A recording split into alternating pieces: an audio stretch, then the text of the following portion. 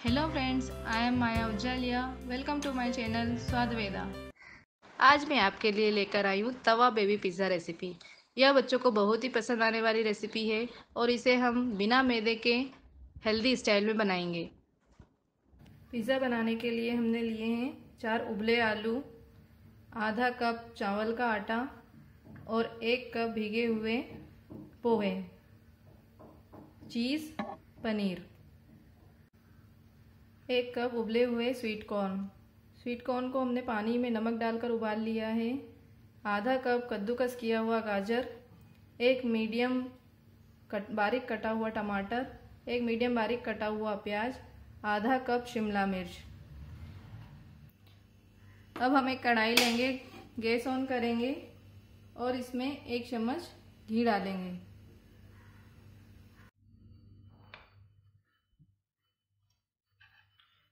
अब हम इसमें प्याज डालेंगे।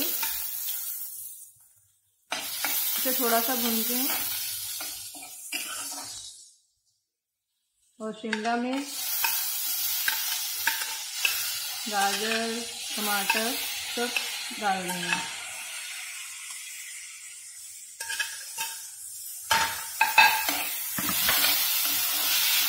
गैस मीडियम करेंगे।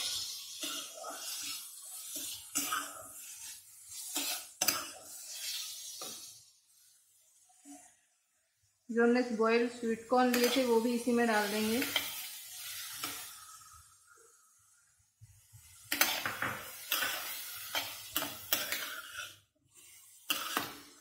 और इसे मीडियम फ्लेम पर पाँच मिनट तक, पाँच मिनट तक ढककर पकाएँगे।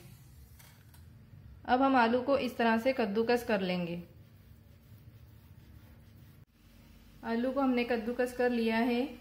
अब हम इसमें जो पोहा लिया है, डालेंगे। और आधा आधा कटोरी जो चावल का आटा लिया था, वो भी इसी में मिक्स कर देंगे। और आधा चम्मच काली मिर्च। और एक छोटा चम्मच नमक। नमक आप अपने टेस्ट के हिसाब से डाल सकते हैं।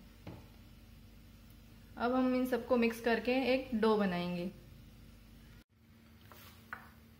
डो बन के तैयार हो गया है।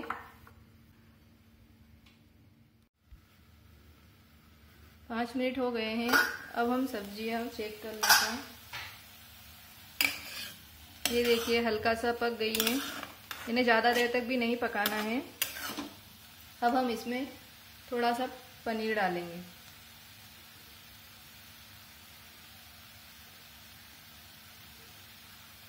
और आधा छोटा चम्मच चाट मसाला, आधा छोटा चम्मच काली मिर्च पाउडर।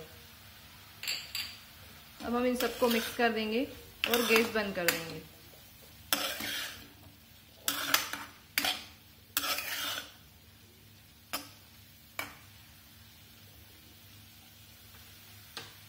और इसे ढककर रख देंगे। अब हमने जो डो बनाया है, उसकी छोटी छोटी टिक्कियाँ बनाएँगे। जिसे हम पिज़्ज़ा के बेस के रूप में यूज़ करेंगे।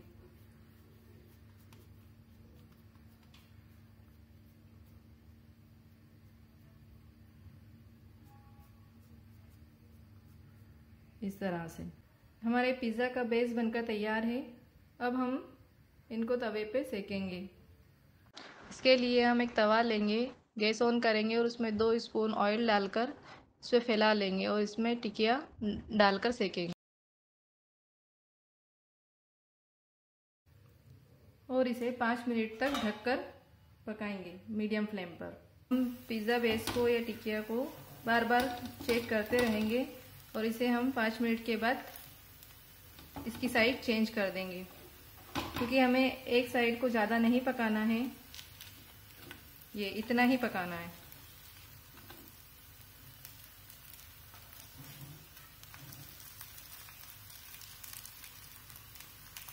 गैस कम कर देंगे। और इसके ऊपर एक टोमेटो सॉस की लेयर बनाएँगे। इस तरह से। सब पर हमने सॉस फैला दिया है।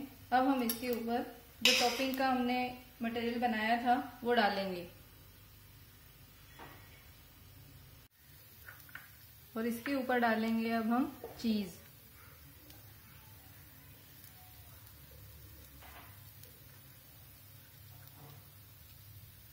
ये बच्चों को बहुत ही पसंद होती है और इसी की वजह से बच्चों को पिज़्ज़ा भी बहुत पसंद आता है।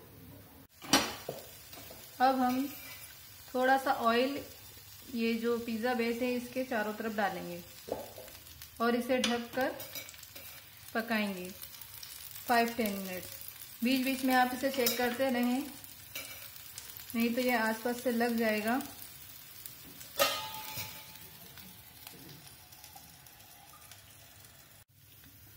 बेबी पिज़्ज़ा बनकर तैयार हो गए हैं। अब आप देख सकते हैं कि इसका जो बेस है वो भी अच्छा क्रिस्पी ब्राउन हो गया है। अब हम इसे प्लेट में निकाल लेंगे।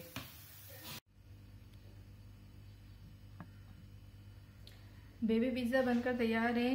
अब हम इस पर इस ऑरेगेनो, थोड़ा सा ऑरेगेनो स्प्रेड करेंगे। और चिली फ्लेक्स।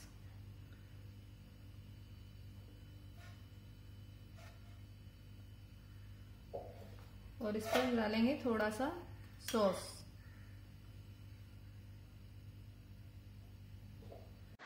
अब हमारा बेबी पिज़्ज़ा बनकर पूरी तरह से तैयार है। अब आप इसे सर्व कर सकते हैं। अगर आपको मेरा वीडियो पसंद आए तो please like share and subscribe कीजिए।